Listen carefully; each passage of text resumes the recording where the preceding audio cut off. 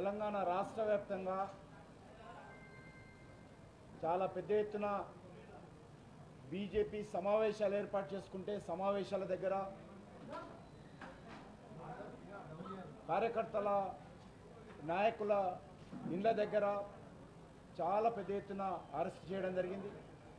వేలాది మంది బీజేపీ కార్యకర్తలను మరి అసెంబ్లీ దగ్గరికి వస్తే అరెస్ట్ చేస్తే అర్థం చేసుకోవచ్చు తప్ప ఆదిలాబాద్ జిల్లాలో ఉన్నటువంటి వాళ్ళను రంగారెడ్డి జిల్లాలో ఉన్నటువంటి వాళ్ళను నిజామాబాద్లో ఉన్నటువంటి వాళ్ళను ఆ రకంగా అన్ని జిల్లాలలో ఎక్కడికక్కడ పోలీసులు బీజేపీ కార్యకర్తలను అరెస్ట్ చేసి రెండు రోజులుగా పోలీస్ స్టేషన్లో పెడతా ఉన్నారు.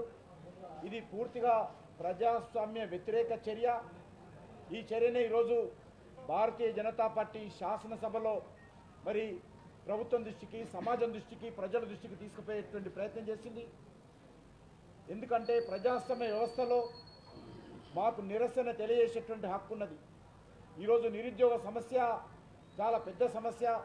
ప్రజలను పట్టి పీడిస్తున్నటువంటి సమస్య. ఏదైతే మన తెలంగాణ వస్తే మన ఉద్యోగాలు మనకు వస్తాయి.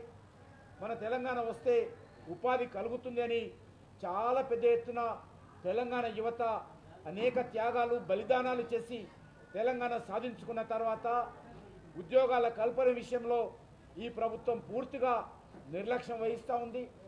మూడున్నర సంవత్సరాలు నాలుగు సంవత్సరాలు కావస్తున్నా మరి ఇస్తానన్నటువంటి ఉద్యోగాలు నోటిఫికేషన్ల దగ్గరనే ఆగిపోతున్నాయి. అవి కూడా మరి అనేక అవకతవకలు కూడా అందులో జరుగుతూ ఉన్నాయి. ఈరోజు మరి క్యాజువల్ వర్కర్గా పనిచేస్తున్నటువంటి వాళ్ళు కాంట్రాక్ట్ వర్కర్గా పనిచేస్తున్నటువంటి వాళ్ళు నిరుద్యోగులు చాలా పెద్ద ఎత్తున ఆందోళన వ్యక్తం చేస్తూ ఉన్నారు.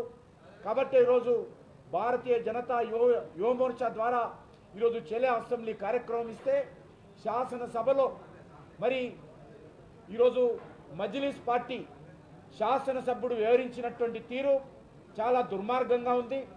మాకేదో హక్కు లేనట్టు శాసనసభలో మేము మాట్లాడే అధికారం లేనట్టు ఈరోజు ఎంఐఎం పార్టీ మాట్లాడుతూ ఉంది. ఎంఐఎం పార్టీ దయాదక్షిణ్యాలతో మేము లేము. ఆయన సర్టిఫికెట్కి మాకు అవసరం లేదు. ఆయన టైం ఇవ్వాల్సిన అవసరం లేదు. మాకు శాసనసభలో మాట్లాడే హక్కు ప్రజాస్వామ్యం మీద మాకు ఉన్నటువంటి హక్కు మాకున్నది. మేము నిరుద్యోగుల గురించి శాసనసభలో మాట్లాడతాము.